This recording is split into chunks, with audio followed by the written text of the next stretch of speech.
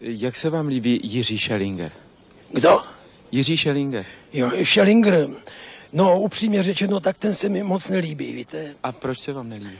No, víte, já, já nemám rád, když se na naší obrazovce objevuje zpěvák, který má chrapot.